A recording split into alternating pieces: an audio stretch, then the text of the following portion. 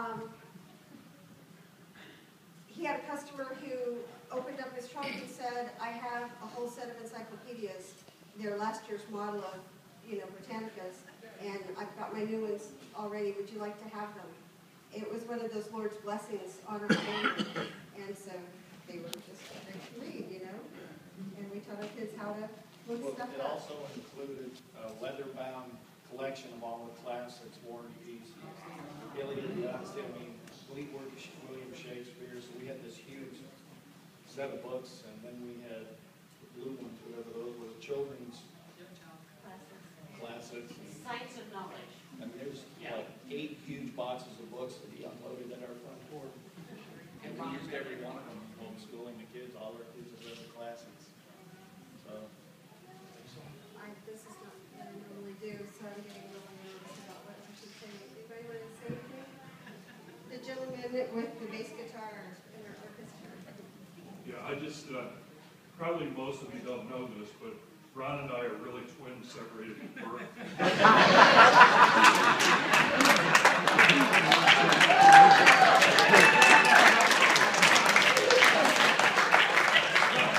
he was born first.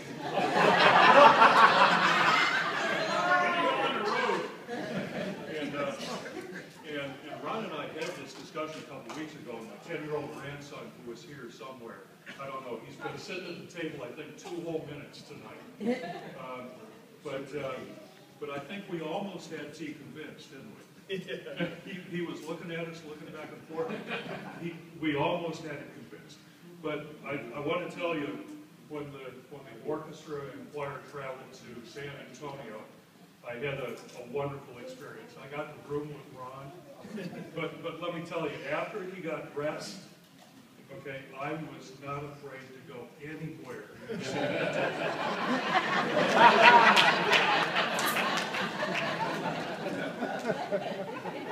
It was safe in San Antonio. Anybody else want to say anything? To give you an idea, some of the are a chiropractor and his wife are here. Thank you, Mike and Kay. Most of you that go to First Baptist know Dr. Baumgartner. He works in your office with them, and um, they're just, just great friends. Thank you guys for coming. Appreciate it. Pastor Steve.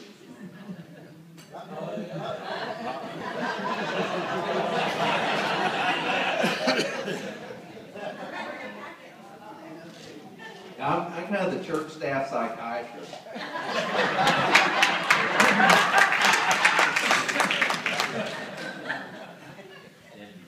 And I love to kind of size people up from time to time. You know, in, in church, they say that everything should be done decently and in order. Well, Ron is the order. You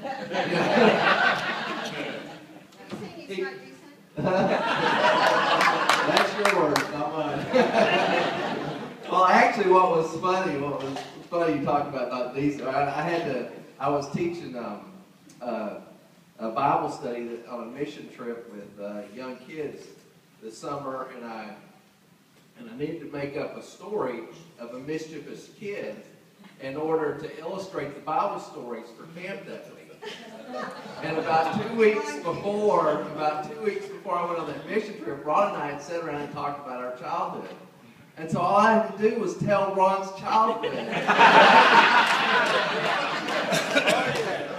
and I had these kids rolling for a whole week. and they were just all Ron stunts that he had pulled growing up. You know, his dad had- but, uh, you know, I, I look, there are a lot of different spiritual gifts in the Bible about service and, and uh, hospitality and things like that. And somewhere there, there has to be one called enforcement. And I haven't found it yet, but I've, I've seen it demonstrated. You know, every now and then, not everyone who comes to church is in the right frame that they should be. And that's when you're kind of thankful for a Ron, because he can walk up to this person and then say, let me help you to your car.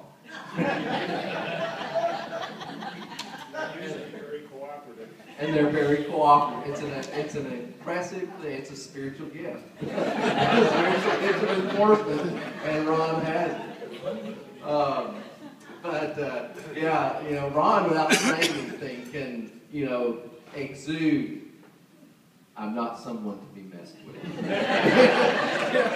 he doesn't have to use words. You just know, don't mess with this person. And if you're here, you better act right. Uh, but uh, God, I thank, I thank God for you, Ron. We've been good friends, and uh, he and I get to talk sometimes because of just ministry situations, and I get to see his heart.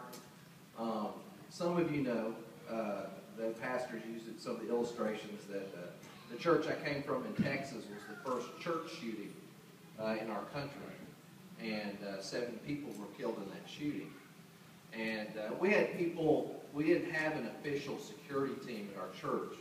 We had policemen like on Sunday morning that were there occasionally. We had policemen in the congregation. And, uh, and we had policemen who responded fairly quickly to that event.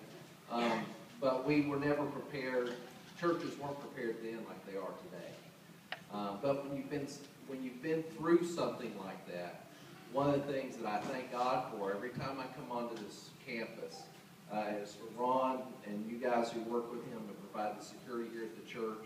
We know this place is safe. And, uh, and you know, you really never know what your kids pick up on things. And I thought this was, it was, uh, it was humorous. My daughter said it in a way, um, but it also made a very clear statement.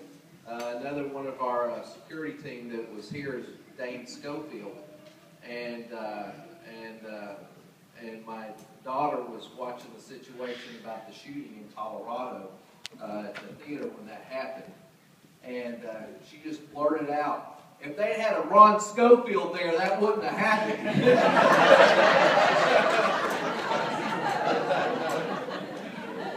so Ron, we're glad to hear we.